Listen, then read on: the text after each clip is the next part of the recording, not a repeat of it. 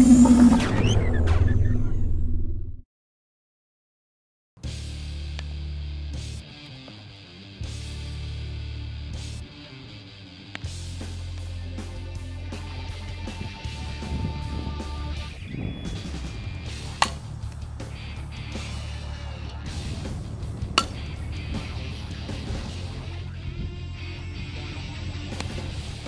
Hi, my name is Amanda Etcheverry. I'm a pitcher and middle infielder for Central High School in NC Sting.